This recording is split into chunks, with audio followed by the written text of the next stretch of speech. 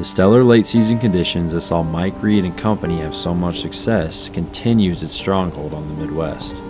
Hoping to take advantage of the opportunity, Jared Mills is heading back to the River Farm with the goal of filling his first tag of the year in Iowa.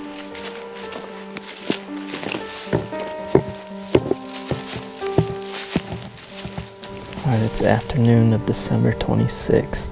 Hope everyone had a great Christmas. I'm back in the woods down at the river farm this afternoon. And as you can see, I'm flying solo, but it's probably a good thing. These conditions, there's very little wind, no cover.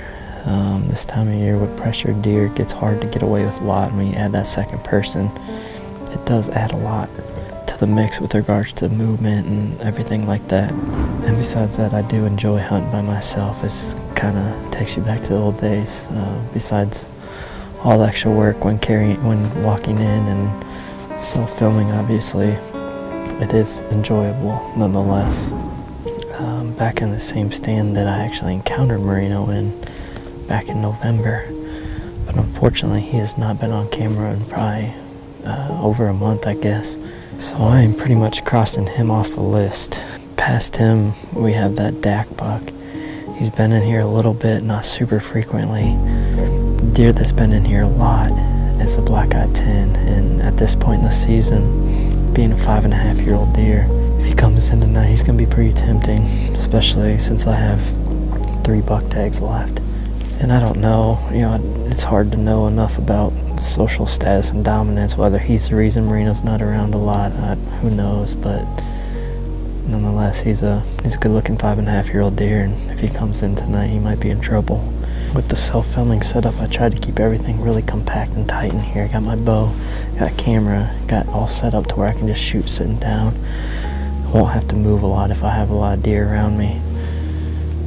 So that's the hope. Um, like I said, there's not much cover here, and if if a lot of deer do come into this plot, it's going to be important that I don't move much.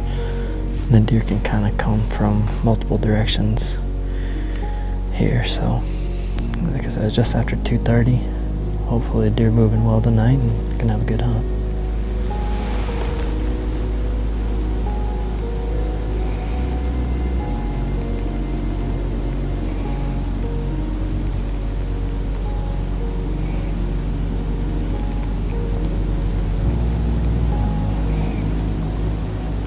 Deer begin to move and Jared double checks his ranges, keeping an eye out for one of the mature bucks to move through the bottom.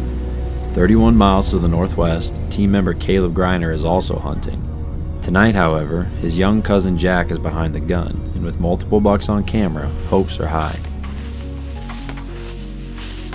Well, welcome back to Midwest Whitetail. We're here after this deer I've never heard of before. Um, supposed to be a pretty nice buck. Hopefully we can drop him on the ground. And um, busy day today. Um, had to work with hogs, and thankful I could come out here with Caleb and Casey and hunt for a little bit. So that's about it. We are back at a familiar farm. We are back down on the River Bottom farm in the food plot, the same plot that Max actually harvested uh, his bow buck last year. But the reason we're down here is because I actually put a few cameras on the plot for late season, and finally this cold weather came back and just seems like it snapped them back into it. So they're back on the feed pattern. We've had tripod show up. We've had the tight 10 from the summer show up, and there's a couple other good mature bucks. But um, hopefully he can get his first deer for the year down. You that right, buddy? Yep. All right. He says it's gonna happen today, so not usually wrong. Last time we went out, he said it wasn't gonna happen, but today we got the thumbs up. So hopefully today's the day.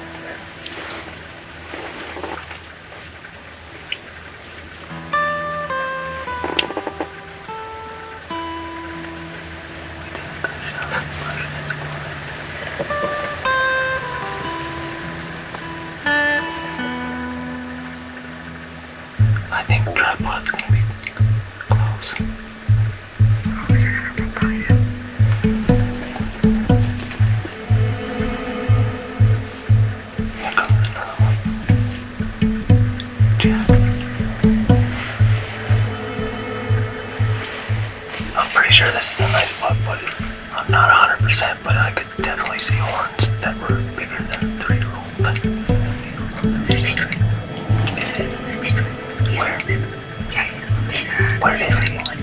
Where is he, you guys? Okay, yup, yup, yup.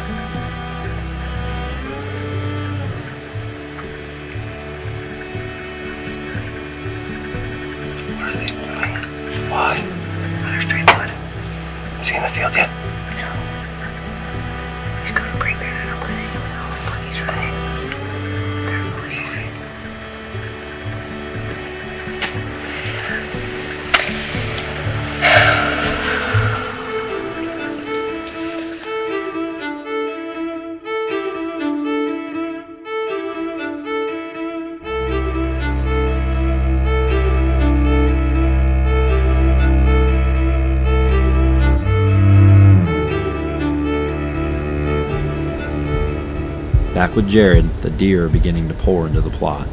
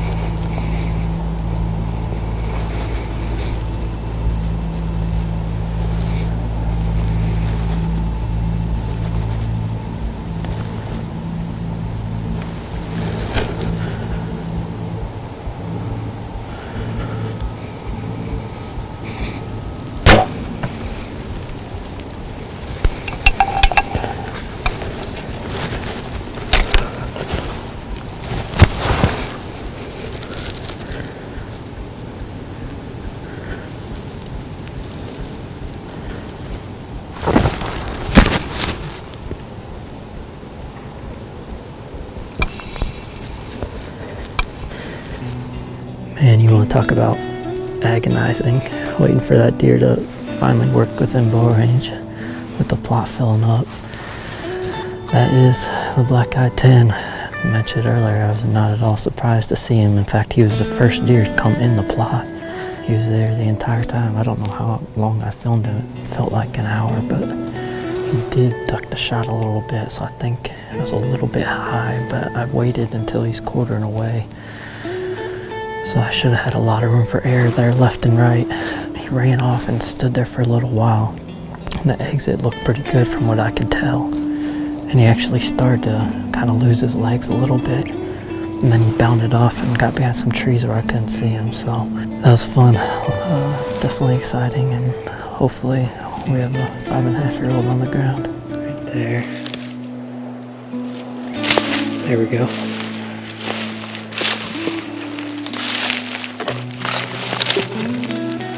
There he is.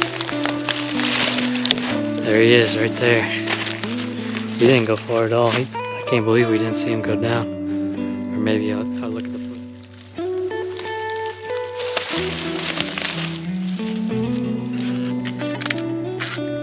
All right, well, here he is, the deer we call the black eyed 10. Five and a half year old, we have an absolute ton of history with.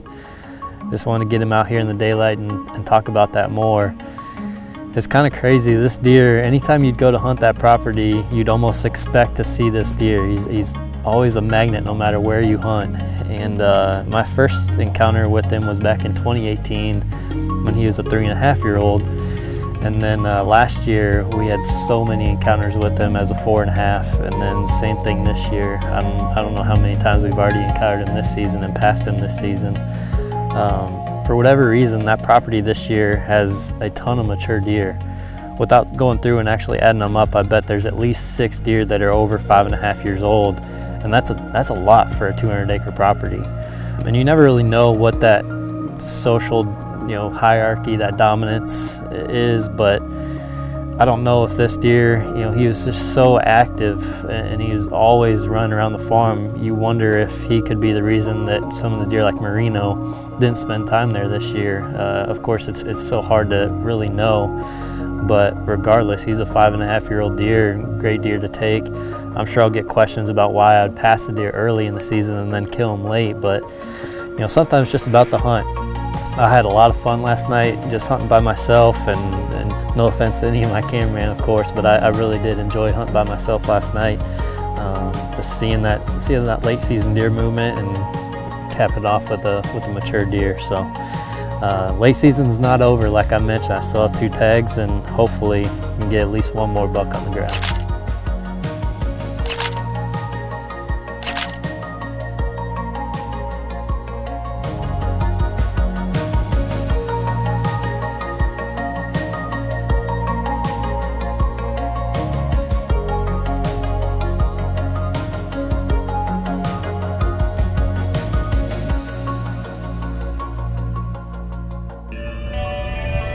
While Jared celebrates the close of the Black Eyed 10 story, 30 miles to the north, Mike Reed and his daughter Anna are back on the home farm.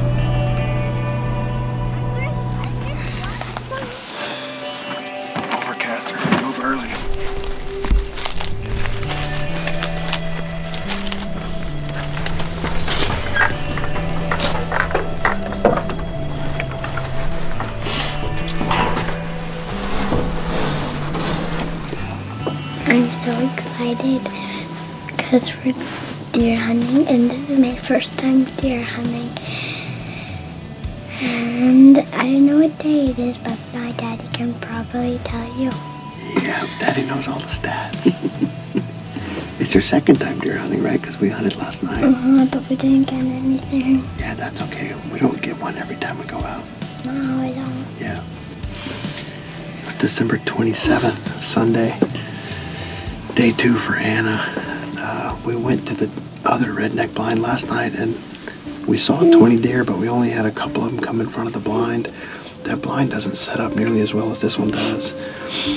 This one has worked great for Bella, my nine year old, and my wife Catherine. Uh, and then the wind switched, so we couldn't come back here last night. But now we're back out of the north. There's a front blowing through. We got sleet right now, and it's going to be snowing here in a little bit.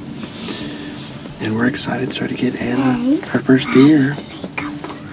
She wants to shoot a buck like her mom and her sister, but uh, we'll see how it goes. I got her a doe tag and a buck tag, and uh, we're just happy to all be in the blind together. Mama's here tonight too, so we really get to enjoy some family time. We've got some uh, turkeys out in the field. It's about 2:40, so we have you know two and a half hours to go. Pour out.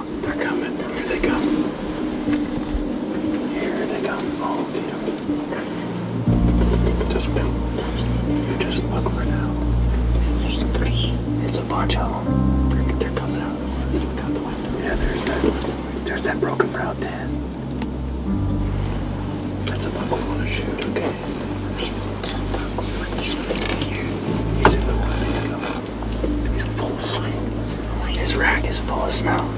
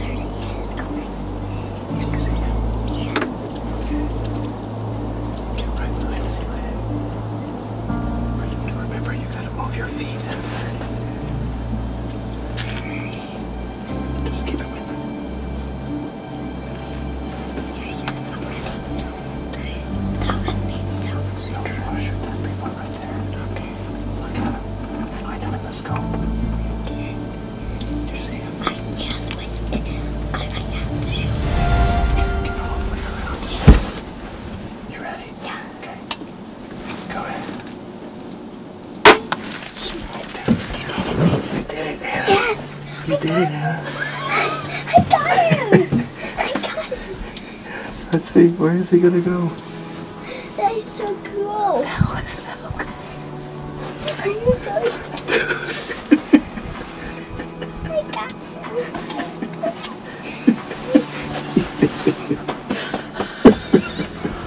I am so excited because I just for, for shoot my first bug and my two parents were with me and it's the best time of my life. You did such a good You did a job. great job. Uh, Anna's second day hunting. This is the same blind that Bella and my wife Catherine shot out of three out of four days. Anna, there's a doe coming right here. Let's get this doe. And now we're gonna get our first doe. Let's get this doe. She smoked.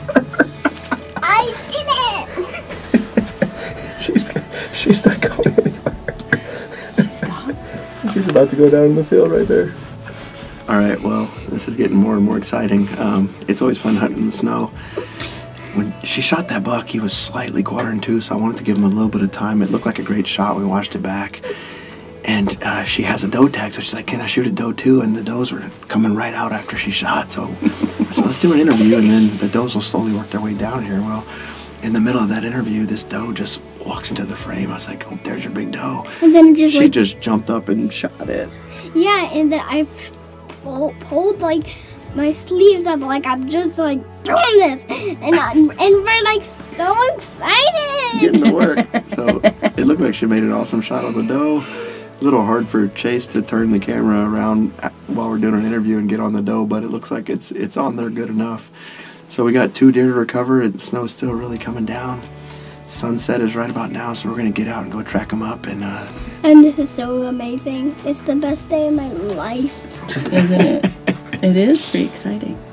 All right, well, I just got off of work and we just beat the sunset to take some photographs. I'm back at home. Uh, Chase and my wife and my brother and, and my father in law, they were all able to get out and get Anna's deer today while I was at work. Um, he was right where we thought he would be. He made it up the top of that hill and then bedded back down and, and didn't go much further. I think that, you know, had we waited a couple hours last night, we probably would have just found him in that first bed. But I thought the shot was a little bit better than it was and elected to take up the trail with that snow coming down heavy. And we jumped him. And after we jumped him, I just said, well, we're going to leave him until tomorrow morning. Beautiful deer. It's actually the same buck that Bella almost shot a couple nights before couple points, you know, those redneck blinds. I can't say enough about them for this purpose. Being able to take kids, beginners, where it takes a lot of discussion in the blind, where to aim, are you ready, you know, movement, etc. She can stay warm with the heater. Uh, we can play games, do all the sorts of things. So it's it's a great family activity. Really allows me to get my young kids out in the woods and spend some quality time. I mean, I had my wife in the blind, chasing the blind. We're all in there just having a good old time and Anna was able to have a successful hunt and take her first two deer ever. It's, uh, it's been a dream season for me to be able to get them all out and, and get multiple great bucks down and, and just have a good time. That crossbow uh, makes it easy, and, and, that redneck blind does too. Looking forward, my wife uh, got her landowner tag, and so she's gonna be going after Tex. And then I still have my statewide archery and my late muzzy. And so uh, now that I've gotten uh, this was our primary goal for late season, get Bella and Anna bucks. Now I'm going to be looking to the River Bottom Farm, maybe seeing if I can't get back on DAC or, or uh, targeting some of these other bucks that we have showing up on camera. Was this pretty fun? Yeah. Are you happy that you found your buck? Yeah. And you got a buck and a doe? Yes. Pretty cool. Well, I love spending time with you in the woods.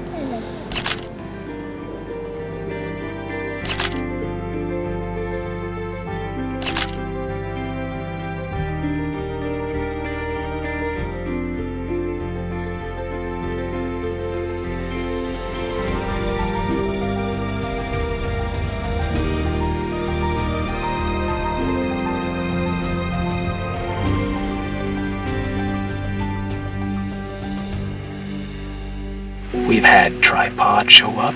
We've had the Type 10 from the summer show up.